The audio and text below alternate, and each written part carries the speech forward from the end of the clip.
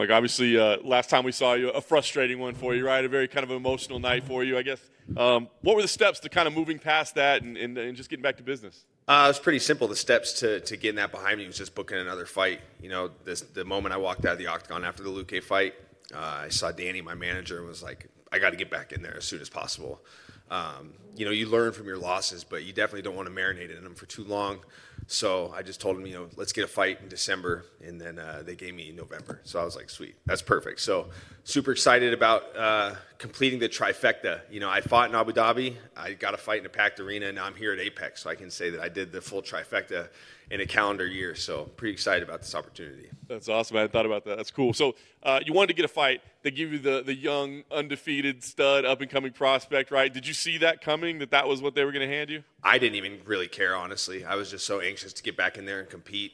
So when they said Sean Brady, there was no hesitation, and it's nice because I've worked the desk for a few of his fights, so I kind of already had the drop on him. You know, I'm pretty well aware of of who he was prior to him getting in the UFC. Uh, my teammate Tyler McGuire almost fought him, so um, you know, we, we kind of already game planning for Tyler to fight him a while ago, and that fight never came to fruition. So it didn't matter who it was that they called me with um, headed into this fight. But Sean Brady was the guy, so that's the matchup, and I'm really looking forward to it. I think he's a tough kid. You know, you, you look at these guys coming up at welterweight. You got everybody talks about Hamzat Chimaev. No one's really talking about Sean Brady. No one's really talking about Shavkat Rakhmonov, these tough up and coming guys. You know, I feel like you got to include all three of them in this conversation. So it's, um, I'm excited I get one of these tough up and coming prospects. I want to give him a shot because I want to still prove that I'm still that guy. That's cool. I know like, what a fight fan you are, in addition to just being an analyst. So, I mean, I, I don't want to say would you say you're a fan of this guy, but I mean, have you liked what you've seen out of him coming oh, up? dude, 100%. When he hit that one arm guillotine uh, over, I think it was Aguilera's his last name. I, I almost said Christina Aguilera. totally would have watched that. but yeah, you know, I was working the desk that fight. That's impressive. You know, one arm submission, something I know something about. So um, yeah, it was really cool to, to see him go out there and get that win. And I like the challenges that he presents it's it's a way for me to kind of right that wrong. I made one tactical error against Vicente Luque, and now it's like you know once they gave me the Sean Brady fight, I'm like this is perfect. This guy's a great grappler, and I can right that wrong by going out there and beating him. So I'm really looking forward to kind of hitting two birds with one stone, getting a win, and uh, just erasing the bad taste in my mouth from that last loss. I guess you never know until you get out there, right? But like the, the grappling fan in me is hoping that you two guys go out there and put on some insane grappling clinic. But often when we see grapplers, right, they cancel each other out, they end up striking. So do you anticipate one over the other? Uh, you know, I think that at some point there will be some grappling exchanges, but uh, you know, I've been in the UFC for almost 10 years and I haven't displayed my full set of skills. So don't be surprised if you hit the nail on the head and we cancel each other out and things take place on the feet. I think a lot of people will be surprised with what I'm capable in terms of my striking. It's just when, when plan A is grappling and I don't have to deviate from that and it's working, what's the point, you know? But yeah, I know he's a tough guy. I know he's well rounded, but I, I, think this has the potential to be a full display of mixed martial arts between both of us. It, it, sounds like you're excited about fighting the Apex. I did wonder kind of what the emotions are like, right? Because you come in here as like in, and work like office job, like sit at a desk. So like, is there going to be like a different feel? Is it is it a bad thing or a good thing that you, maybe you're so comfortable with the environment? You know, I haven't even really thought about that. The way I perceive the Apex is I feel like I'm, I'm going back to my Ultimate Fighter days. I look at this like I'm going back to the TUF gym and look at the run I put together at the TUF gym. You know, four tough fights before I fought the finale, you know, and uh, so that's the way I look at this. I'm not looking at this like, oh, I'm walking in the office to actually get in a fist fight.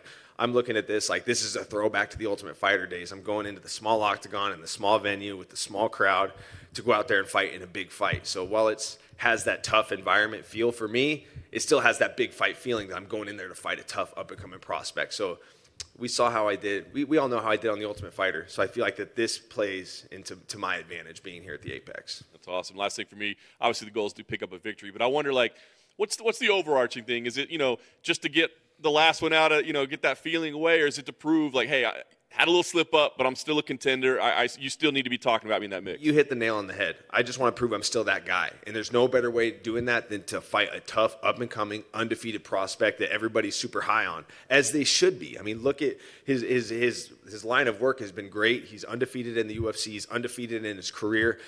The place he cut his teeth in CFFC. I mean, that, that's a tough proving ground for an up and coming fighter. So I know what he's capable of. I know what he brings to the table in this he ain't you know this ain't no pushover. He's a tough kid, but I've got to prove I'm still the guy, and I know I am the guy, and I know I'm going to get my hand raised, and I'm super excited to get out there and compete. Hey, Michael. Um, so after your last fight, there was footage um, that came out on the UFC's Thrill and Agony of you just darting out of the arena and um, going to like to this garage. I guess I just wanted to like know like your, um, I guess like your like what was going on through your mind at that at that point.